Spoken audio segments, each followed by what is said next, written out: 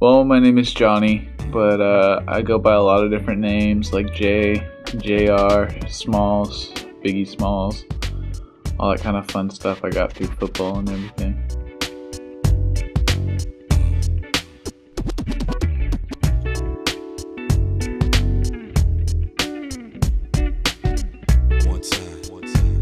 I can tend to be a pretty crazy guy, you know, but uh, I don't show it all the time. Just mostly when I'm out at parties, you know, being myself. But when it comes to being professional, I can definitely get that done too.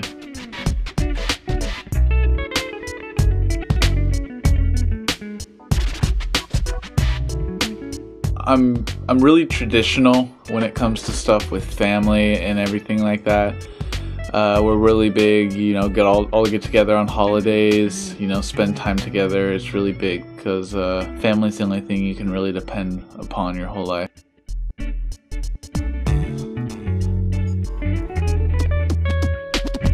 Another thing when it comes to family was my uncle's in the military, he's in the army.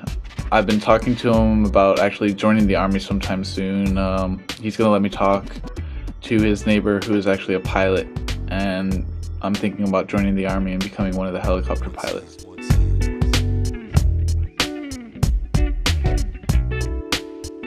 Pretty much my reasoning behind most of the choices in my life is you only get one life, you know, so you should do what you want.